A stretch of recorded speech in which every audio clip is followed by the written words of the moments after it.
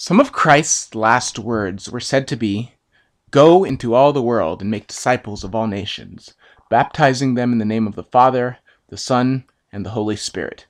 Christians call it the Great Commission, and it's a major inspiration for their evangelism. Now, I'll sidestep the issue of why omnipotent Yahweh needs to act by human proxy to get his message out, because I made a video about that already, and I'll go to the, straight to this issue that I think is a really absurd oversight in this whole plan that the allegedly omniscient, omnipresent Christian God has cooked up. If you have a message that you want to get to all of mankind, why set it up so that it will only reach a small section of the world? I mean, it's so stupid. I mean, look, look at the first century Christians, right? They set up churches throughout the Mediterranean, Ethiopia, and maybe even as far away as the Indian subcontinent. That's a controversial one, but there's some evidence that they may have gotten all the way to India. To the first century Christians, that must have seemed pretty impressive. To them, it must have seemed like they were making good progress, and that the whole world would be evangelized well before Christ's return, which they probably expected to be in their lifetime. But you and I know how big the world really is and one would assume that an all-knowing being would also know how, how big the world is. I mean, why have this magic earthquake-causing, temple-desecrating, zombie-raising crucifixion of cosmic importance in a relatively isolated part of the Roman Empire where it might go unnoticed by much of humanity? Why not in Greece or Italy where people are writing things down and going to basically everyone's literate in those areas and that would be a place where you'd think it would get a lot of attention and create a rush of new converts to the religion. Hell, why not supernaturally broadcast it to the rest of the world magically?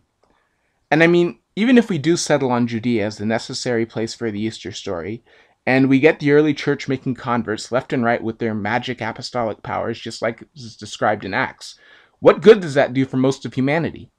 Even if the apostles are telling everyone about Jesus, what about the many people who were alive in the first century who would never hear it? For example, a Chumash man, a Chumash man who lives in, let's say, first century California.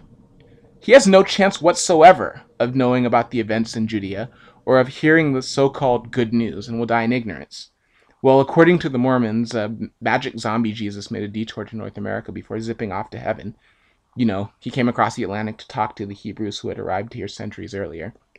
The Nephites, the Lamanites, you know, these people who built cities, founded civilizations, and had huge wars that left absolutely no evidence for archaeologists and historians to uncover.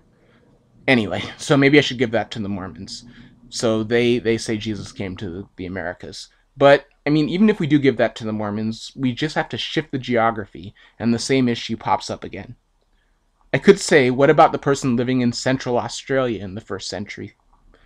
Or a farmer in Han, China, or somebody who lives on the in the Kalahari Desert in Africa. There's no way they would be able to hear this message of Jesus, and all the all-knowing God of the universe should know that.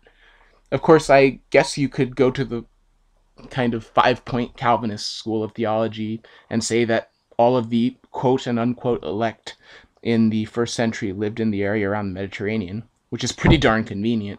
But I'm going to operate from the same assumption I had as a born again Christian that the Christian God desires that none should perish, but that all should be called to repentance. And if that's the case, well, that's a pretty piss poor distribution plan, especially considering that it's a whole gray area among Christians as to whether Yahweh fries the ignorant natives who have never heard about Jesus. I'm serious. Very biblically literate Christians spend quite a bit of brain power debating this issue. And basically it's it's a kind of an area that you'd think that the God of the universe would have thought to cover. Oh well. It's just a thought, and as always, I guess I'll just end with saying answer the questions by questioning the answers.